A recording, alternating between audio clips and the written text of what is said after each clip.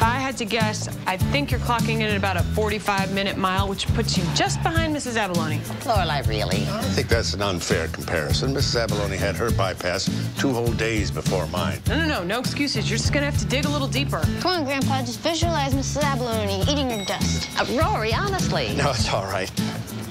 How's this? Wow, I would say we have a new slow walk leader in the cardiac recovery wing. Hey, did you hear that? What, the crowd cheering? Woo! Yeah, Grandpa! Would you two stop? You're making a scene. Mr. Gilmore, congratulations on your recent victory. Any opinions about the allegations of steroid use among your fellow athletes? Well, I consider myself proof positive that it can be done, and done clean. Richard, must you encourage them? Well, excuse me, Emily. I'm getting a little stir crazy in this place. Well, you'll be getting out of here soon enough.